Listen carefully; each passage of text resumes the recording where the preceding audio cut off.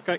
Welcome to my ALS challenge. I would like to thank Stuart Butler and Andrew Thornley for my nomination. Uh, but Andrew, as you will see, unlike your bucket, mine actually does have ice in it, Andrew. It's all part of it.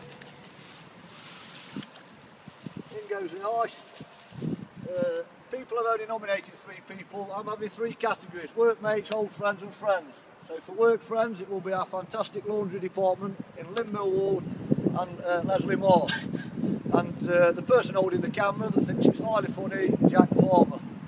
Uh, old friends will be Kelly Willett, Andrew Cooper and Reese Cooper. And friends from now will be Joe Parkinson, Nadine Elkington and Sumo Mark Wilson from Darts. Here goes.